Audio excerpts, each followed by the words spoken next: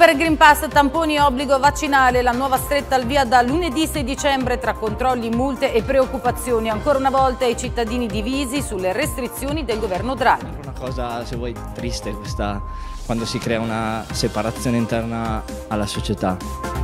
Dalle Marche a Vienna per dire no alla dittatura continua la protesta di Noi siamo il popolo italiano contro le regole anti-Covid e sul Super Green Pass di Tommaso commenta è l'ennesima estorsione.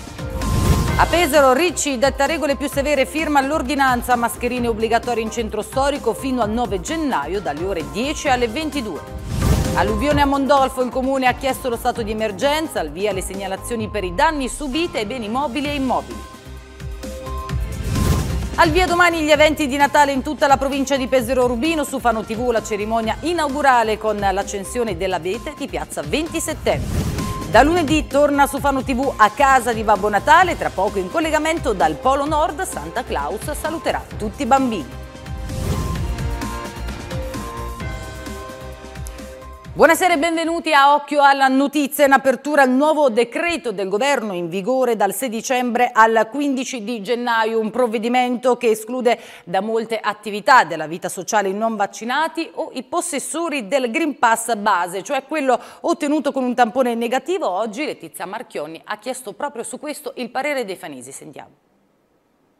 In arrivo il Super Green Pass. Con le nuove misure approvate dal Consiglio dei Ministri del 24 novembre arriva una forte stretta da parte del governo nei confronti dei non vaccinati e possessori della certificazione verde base, ovvero quella ottenuta con un tampone negativo, che a partire dal 6 dicembre 2021 al 15 gennaio 2022 rimarranno esclusi da numerose attività della vita sociale.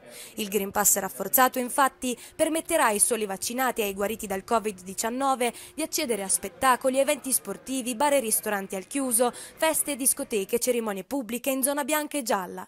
In zona arancione le limitazioni riguarderanno solo chi non possiede il Super Green Pass. Inoltre, a partire dal 6 dicembre, la certificazione verde base sarà necessaria anche per entrare negli alberghi, negli spogliatoi per l'attività sportiva e per salire su mezzi di trasporto ferroviario regionale e trasporto pubblico locale come bus o tram, tutti i casi in cui finora non era richiesto alcun tampone negativo. Dal 15 dicembre, inoltre, la vaccinazione diventerà obbligatoria per il personale amministrativo della sanità, per i docenti e personale amministrativo scolastico, forze di polizia, militari e soccorso pubblico. Abbiamo sentito il parere dei fanesi su questa nuova stretta del governo. È stato diciamo, susseguirsi di restrizioni che secondo me dal mio punto di vista io sono una persona vaccinata e sono doverose, però capisco anche che poi c'è un, tutta una fetta di popolazione che per paura o per eh, so, ideologie più o meno politiche soffre questa, questa, serie di restrizioni. È sempre una cosa, se vuoi, triste questa, quando si crea una separazione interna alla società. Però, non lo so, qua parliamo di salute. Anch'io ho avuto per un po' di tempo dei dubbi, mi sono fatto delle domande, però sono dell'idea che ci dobbiamo passare. Il mio atteggiamento è molto dicotomico, dicevo, perché sono una Vax convinta, ma allo stesso tempo la scelta di aderire al, eh, al Super Green Pass, adesso viene chiamato così, la trovo una, una scelta e una decisione piuttosto ambigua che non fa altro che rendere ambigua poi tutta la situazione, cioè il governo anziché svolgere il proprio ruolo in qualche modo lascia, abbandona la propria la responsabilità e la dà dà al singolo cittadino. Non, non taglia fuori nessuno, però mi sembra giusto eh, andare avanti con la vaccinazione se vogliamo uscirne questa è la soluzione. Comunque non poter entrare in un bar solamente perché non ti sei vaccinato, perché magari per dire per noi minorenni non è neanche scelta tua poter fare il vaccino, no, magari sono i genitori che non te lo vogliono far fare perché non sono sicuri di quello che c'è dentro altro e quindi tu sei limitato per una scelta che non è neanche tua quindi magari è, troppo, è eccessivo vietare bar o altro. Per... Ancora non si sa se effettivamente è sicuro il vaccino o no, che ti protegge veramente dal Covid, però secondo quello che ancora ci hanno detto in teoria è necessario, quindi secondo me è fra virgolette giusta. Queste restrizioni sono, sono da accettare, volente o nolente bisogna accettarle perché sennò altrimenti non si va avanti le attività chiudono, poi circa i pericoli che possa portare la somministrazione di questo, di questo vaccino, c'è anche il risvolto che se non lo fai poi vai a finire in ospedale, in, in un reparto in cui non è bello starci. Se tutti si vaccinano il Green Pass non serve. La mia libertà finisce dove comincia la tua. Per cui se c'è mutuo rispetto uno piglia le decisioni giuste secondo me. Non c'è fascia di età, cioè, non di età, di, di professionale ok che rimane fuori. Rimangono fuori solo quelli che non possono farselo, ma tutti gli altri dovrebbero farselo secondo me. Io sono per la scienza e va bene la terza e anche la quarta dose. Io non sono d'accordo, pur essendo vaccinata, avendo il Green Pass, però non sono d'accordo per chi vuole essere libero di non vaccinarsi, che lo rendano obbligatorio e basta. Cioè, mi sembra un, un controsenso, ecco, un, una mancanza di libertà per chi vuole essere libero di non vaccinarsi. E deve essere obbligatorio oppure libertà nel farlo o non farlo e non escludere chi non lo fa da, da, dalla società, perché li rinchiudi praticamente a casa, lavoro e casa. Insomma, per molti se serve per salvare il Natale ed evitare il lockdown, ben venga la stretta del governo, la pensano allo stesso modo anche ristoratori e baristi. Nonostante tutte queste nuove misure, diminuiranno la clientela e l'affluenza nei locali nel periodo natalizio. Tante anche la confusione degli esercenti su come verrà distinto il Super Green Pass dalla certificazione verde base. Questo è quello che chiedeva il comparto, eh, cercare di non chiudere, perché la paura è tanta. E dopo aver provato sulla nostra pelle gli anni passati cosa vuol dire entrare entrare in zona rossa con l'aumento dei contagi e quindi la chiusura dell'attività, non possiamo tornare a quelle condizioni. Per fare ciò purtroppo c'è bisogno di un sacrificio. Il sacrificio è questo, sicuramente ci sarà un calo perché avendo questo super Green Pass, chiamiamolo così, eh, ci sarà un calo di affluenze nei locali per forza di cose, ci saranno maggiori difficoltà, sicuramente gli incassi del periodo natalizio, quello a cui andiamo incontro, saranno eh, di meno per forza di cose, però sicuramente uno deve guardare oltre, non deve guardare nell'immediato, ma deve guardare che questo serva per non farci chiudere i prossimi, i prossimi giorni. Insomma. La normativa secondo me è sbagliata, perché danno carico a noi esercenti di verificare se uno ha il Green Pass, se uno c'è apposta. Io oltre il barista prima devo fare il vigilantes e non posso fare una cosa del genere perché la mia attività è un'altra cosa, io sto dietro il banco. Quando arriverà il momento, molti di noi non sapranno cosa fare, però mettetevi sempre nei panni nostri esercenti, un ristoratore, un barista, che deve stare qui a controllare una cosa, se è super, non è super, devo andare a fare un corso di Green Pass eh, al Ministero della Salute perché ormai non ci capiamo più niente. E critiche alle nuove norme arrivano anche dal gruppo Noi siamo il popolo italiano che sabato scorso è sceso in piazza a Vienna per protestare contro l'obbligo vaccinale imposto in Austria, attualmente in lockdown.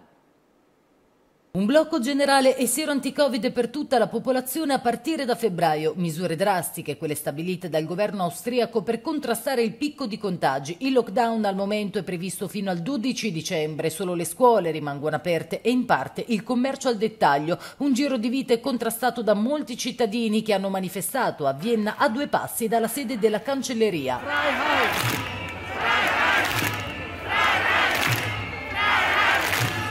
In piazza c'era anche un gruppo di persone partite da Fano che con cartelli, bandiere tricolori e striscioni hanno ribadito il no alla divisione della società e alla dittatura. Abbiamo deciso di intraprendere questo viaggio non per fare la scampagnata del fine settimana ma per portare eh, ai popoli europei in lotta un messaggio di, di, unione, di fratellanza vera perché quello che stiamo vivendo è, è il tentativo di instaurare una dittatura globale e noi vogliamo portare il nostro messaggio di solidarietà a tutti i popoli europei che sono in lotta in questo momento.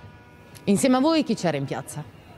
Ma in piazza c'era sostanzialmente tutto il popolo austriaco perché l'Austria è uno dei paesi con il più basso tasso di vaccinazione d'Europa, quindi c'è una fortissima opposizione eh, molto importante e, l'adesione delle forze dell'ordine, di buona parte delle forze dell'ordine alla manifestazione erano proprio all'interno della manifestazione e sanitari schierati, addirittura in camice bianco, quindi con la divisa da lavoro, quindi una cosa abbastanza molto molto trasversale. Abbiamo avuto un'accoglienza straordinaria, meravigliosa, come, come abbiamo dispiegato le bandiere italiane eh, sono venuti tutti praticamente eh, tutti intorno a noi perché probabilmente eh, hanno ben ferma nella memoria, impressa nella memoria le scene di, di Trieste piuttosto che quelle di Roma, sanno che noi soffriamo come loro e combattiamo la stessa battaglia. Una lotta alle restrizioni che prosegue anche in Italia. Davide Di Tommaso, portavoce di Noi siamo il popolo italiano e membro del coordinamento Marche Province Unite, contesta duramente la nuova stretta del governo Draghi. Era abbastanza prevedibile perché quello che è stato in Austria qualche giorno fa si, si verifica in Italia, è tutto tutto come da copione, continueremo con la resistenza. Vigestan dicono gli austriaci e continueremo noi qua in Italia come fanno loro, esattamente allo stesso modo. E sulle ulteriori limitazioni che cosa ne pensa? Ma eh, questo mm, fenomeno Super Grip Pass non è altro che un obbligo surrettizio per arrivare comunque a, per imporre la vaccinazione, l'ennesima estorsione, quindi eh, io penso, sono fermamente convinto che alle estorsioni non si, non si cede mai. Intanto a Pesaro il sindaco Matteo Ricci detta regole più severe, firma l'ordinanza che impone l'obbligo di indossare le mascherine in centro storico anche nei luoghi aperti. Il provvedimento scatta da domani fino al 9 gennaio, dalle ore 10 alle 22, in concomitanza con l'evento Pesaro nel cuore. Abbiamo deciso di estendere l'orario, ha spiegato Ricci, perché è complicato capire il flusso delle persone che parteciperanno ai mercatini di Natale. È un'ulteriore protezione per cercare di non fermare le attività e non richiudere nella massima sicurezza. Eh, per i trasgressori le sanzioni vanno da 400 a 3.000 euro. E c'è un record di contagi nelle Marche dove nell'ultima giornata sono stati rilevati 575 positivi al Covid. La provincia più colpita è quella di Pesaro Urbino con 164 nuovi casi, seguita da Ancona con 132. Inoltre nell'ultima giornata si sono verificati tre decessi legati al virus. Si tratta di due donne e di un uomo di età compresa tra gli 82 e gli 85 anni. In aumento anche ricoveri negli ospedali della regione che sono due in più rispetto a ieri per un totale di 97. Resta invariato invariato il numero dei pazienti in terapia intensiva, mentre cala leggermente quello dei degenti in semi-intensiva. Il comune di Mondolfo ha inviato alla regione la richiesta di riconoscimento dello stato di emergenza per il nubifragio di martedì 16 novembre. Il sindaco fa sapere che i cittadini e i titolari di attività economiche e produttive, ad esclusione di quelle agricole, potranno segnalare al comune i danni che l'alluvione ha provocato ai beni mobili e immobili entro e non oltre il 31 dicembre 2021. Le richieste di segnalazione potranno essere presentate all'ufficio protocollo del comune oppure tramite PEC e la protezione civile regionale ha diramato un avviso di condizioni meteo avverse per vento forte. L'allerta è valida per tutta la giornata di domani, 27 eh, novembre. Nelle zone alto collinari e montane sono previste raffiche fino a 100 km orari. Cambiamo argomento, è il 41enne Tommaso Della Dora, il candidato per AIDEM per la segreteria del PD Fanese e oggi si è presentato alla stampa. Il dato fondamentale sia il lavoro di squadra, eh, perché soltanto lavorando tutti insieme e mettendo insieme le forze, le capacità, le, le competenze di tutti si possano raggiungere obiettivi importanti. Ne è convinto Tommaso Della Dora, 41 anni, educatore, che oggi in conferenza stampa ha spiegato le ragioni e la linea della sua candidatura alla segreteria del PD di Fano per AIDEM, nome che sta per idealisti democratici e concreti. Con il motto Tenaci per decidere e incidere Della Dora si contende alla guida del partito con Riccardo Tonti Bandini, candidato per Futuro Democratico. Al congresso cittadino, partito il 25 dicembre, che terminerà il 12 dicembre, verranno rinnovati gli organismi in vista delle elezioni comunali 2020 2024. Inclusività e lavoro di squadra sono le parole d'ordine di Aidem, ha spiegato Della Dora. Mm, la mia candidatura deriva dal fatto che un, un gruppo di persone che poi si individua con il nome Aidem eh, ha ritenuto che io fossi la, la figura giusta per eh, rappresentarli fondamentalmente. Il nostro obiettivo primario è avere un partito forte all'interno della città che sia il perno della coalizione, eh, ruolo che dobbiamo avere in quanto siamo il partito di maggioranza relativa, la forza di maggioranza relativa all'interno della coalizione che governa la città. Mm, questo è l'obiettivo primario e va perseguito eh, rafforzandosi sul territorio, lavorando bene con i circoli, eh, con un'organizzazione più forte, migliorando la nostra comunicazione per, com per comunicare bene quello che vogliamo fare, eh, il senso del nostro percorso all'interno del, del governo cittadino. Perde il controllo dell'auto e finisce contro una recinzione. È successo oggi a Fano intorno alle 12.30. Una 72enne di Marotta era alla guida di una lanciamuse e stava percorrendo via Lipiceno quando, arrivata all'altezza di via dei Tamirici, improvvisamente, forse a causa di un malore, ha iniziato a sbandare finendo appunto contro la rete. La donna è stata trasportata all'ospedale Santa Croce. Oltre al 118 sono intervenuti la polizia locale e i vigili del fuoco perché l'auto era alimentata a GPL. Tre auto invece sono rimaste coinvolte in uno scontro avvenuto questa mattina alle 8.50 in località Chiaruccia all'altezza di Regine Reverde Garden. Un pesarese di 23 anni a bordo di una Mazda 2 stava percorrendo via Sesta Strada in direzione Monte quando ha tamponato una Dacia Duster condotta da un uomo residente a Gradara che stava svoltando a sinistra. A causa dell'impatto la Mazda è finita nella corsia di marcia opposta urtando la fiancata laterale di una Mercedes classe B in transito verso Fano. Nessun Nessuno è rimasto ferito sul posto, anche in questo caso la polizia locale per i rilievi di legge. Lunedì prossimo alle 9.30 si svolgerà il terzo congresso dei pensionati della CISL di Fano per l'elezione della nuova segreteria e del direttivo, i quali avranno il compito di confrontarsi con le istituzioni e gli ambiti sociali territoriali sulla non autosufficienza, sull'emergenza Covid e sulle tariffe. Infatti le utenze, i carburanti e la ripresa dell'inflazione stanno erodendo le pensioni, ha detto la CISL, tenendo in considerazione che la media nel nostro territorio è di 819 euro.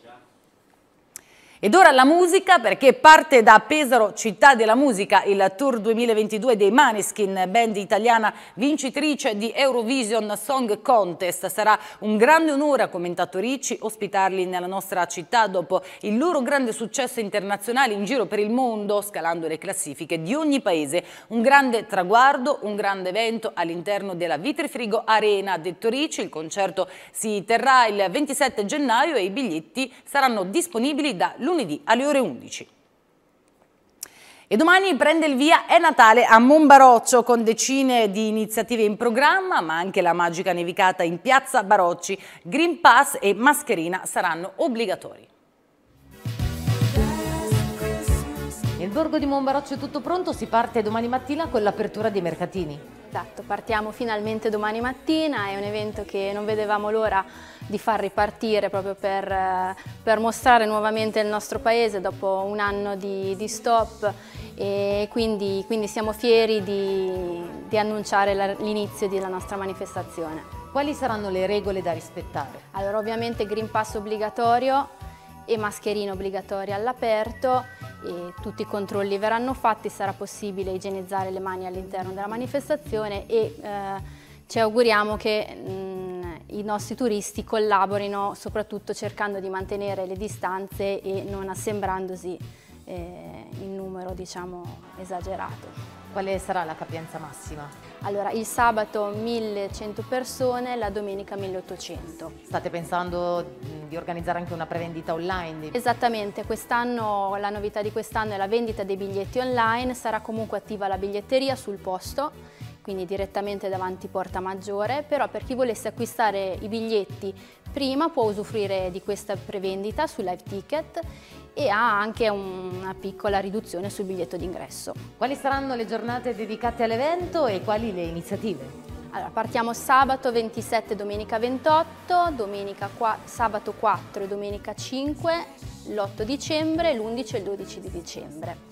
All'interno della manifestazione ci saranno sempre le location eh, che oramai sono il nostro punto forte del nostro mercatino, le ambientazioni natalizie, la casa di Babbo Natale, il paesaggio invernale e qualche chicca nuova, diciamo perché ci piace un po' innovarci tutti gli anni e poi ovviamente l'immancabile nevicata che per tre, tre, volte durante la giornata scenderà anche, anche quest'anno. Sindaco, tante le persone e i volontari che anche quest'anno si sono adoperati per l'evento.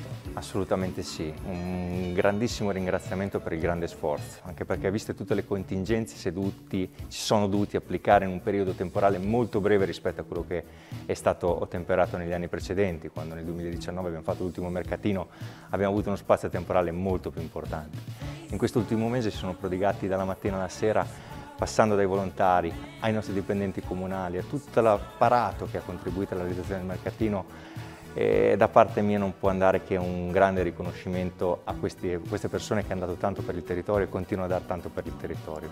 Non dimentichiamo naturalmente tutto lo sforzo delle forze dell'ordine, tutto l'apparato della protezione civile e questore prefetto che hanno sostanzialmente contribuito a far sì che la realizzazione di questo mercatino potesse procedere nei tempi che saranno rispettati con la partenza di questo weekend.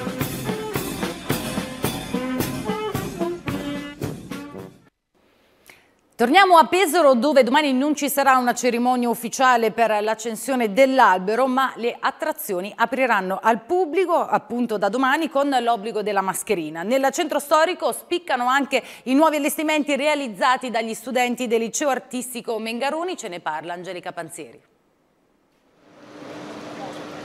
Cento nasse di stelle illumineranno le vie del centro storico di Pesaro per le festività natalizie. A realizzarle gli studenti del liceo artistico Mengaroni in collaborazione con il comune di Pesaro. Piccole stelle dorate racchiuse in gabbie luminose con l'intento di abbagliare tutti coloro che avranno la possibilità di ammirarle. Stelle che vogliono ricordare a ciascuno l'idea del sogno che ognuno di noi custodisce nel proprio cassetto, hanno spiegato i ragazzi, supportati dalle docenti Palazzo e Pagnini e dalla preside Serena Perugini. Un progetto apprezzato anche dal sindaco Matteo Ricci, l'ingegno degli studenti del Mengaroni ci stupisce sempre, ha detto il primo cittadino, credo molto nelle loro capacità e questo rappresenta sicuramente un bel contributo per la città. La caratteristica principale è quella di unire ovviamente eh, la città al, ai sogni dei ragazzi. E ovviamente eh, la città l'abbiamo rappresentata con una nassa in quanto essendo una città di mare la nassa è proprio un oggetto che fa parte proprio della, delle, della cultura dei pescatori, quindi della, della pesca. E all'interno abbiamo raccolto imbrigliato, abbiamo, ci piace dire così, imbrigliato delle stelle che sono i sogni di ognuno di noi, proprio per trovare quella quel senso di, ehm, di, socialità, di convivio che ancora purtroppo oggi non riusciamo più eh, a mantenere. Un omaggio alla città di mare realizzato con impegno e passione dagli studenti delle sezioni di arti figurative e interior design. E le nasse in tutto sono 100 e andranno nella città di Pesaro per l'appunto per eh, diciamo, dare un Natale nuovo, fare risplendere una magia, un qualcosa comunque che, è proprio, che fa parte di noi, di noi artisti. Io faccio parte della sezione di arti figurative, sono un'alunna della quarta B e sono molto felice di aver realizzato questo progetto eh, perché comunque sia cioè, fa parte veramente di noi, cioè, sono riuscita a tirare fuori insieme, insieme, a tutti gli altri ragazzi anche tramite le idee comunque la, la realizzazione ed è stato molto bello perché comunque ci ha fatto riunire, ci ha fatto sentire magari un pre, magari un'emozione della magia del Natale. E da domani, sabato 27 novembre, fino al 9 gennaio prossimo apriranno al pubblico tutte le attrazioni natalizie, accessibili soltanto con l'obbligo di mascherina e Green Pass. Lo scivolo di ghiaccio in via Curiel, il villaggio di Babbo Natale, la pista di ghiaccio in Piazza del Popolo, il trenino Ui Pesaro Express, poi i mercatini tipici che saranno dislocati anche nelle vie secondarie del centro, Sabato 27 novembre a Pesaro sarà anche il giorno in cui è prevista l'accensione dell'albero più illuminato d'Italia in Piazza del Popolo con le sue 100.000 luci a LED a risparmio energetico. Non ci sarà però alcuna cerimonia ufficiale. Evitiamo di creare assembramenti in piazza, aveva spiegato Ricci nei giorni scorsi, visto che l'accensione ha sempre radunato negli anni migliaia di persone. Gli attuali dati dei contagi non ce lo permettono. E domani è prevista l'accensione degli alberi di Natale in tanti comuni della nostra regione. Fano TV alle ore 20 trasmetterà in diretta la cerimonia inaugurale del Natale Più organizzata dal comune insieme alla Proloco e che prevede l'accensione dell'abete in piazza 20 settembre. La piazza sarà blindata e l'accesso sarà consentito solo ai 200 bambini protagonisti dello spettacolo. Tutte le novità e gli appuntamenti del Natale a Fano li troverete sul nostro sito occhioallanotizia.it. Lunedì pomeriggio invece prende il via su Fanu TV a casa di Babbo Natale. Allora colleghiamoci direttamente con Santa Claus che dal Polo Nord ci darà tutti i dettagli. Buonasera Babbo Natale, intanto le chiedo come sta e se è pronto per questa nuova avventura. Buonasera, buonasera a tutti gli ascoltatori di Fano TV. Io per questa avventura sono prontissimo, ho già preparato tantissimi regali e lunedì prossimo sarò pronto ai collegamenti con Fano TV per parlare con tutti i bambini delle Marche Quindi mi raccomando bambini, eh, lunedì prossimo alle 18.30 eh, telefonate allo 07 21 86 14 33 e potrete parlare con Babbo Natale e faremo dei giochi e, faremo, e faremo, canteremo delle canzoni e, e poi vedrete. Mi raccomando, telefonate e potete telefonare lunedì, mercoledì e venerdì sempre alle 18.30. Ciao! Grazie Babbo Natale, allora presto e vi ricordo invece che lunedì sera a Primo Cittadino ci sarà il sindaco di Fossombrone Massimo Berloni. Subito dopo di noi le previsioni del tempo e poi la seconda puntata di L'appetito vien mangiando, questa sera dedicata ai cappelletti in brodo. Buona visione, arrivederci.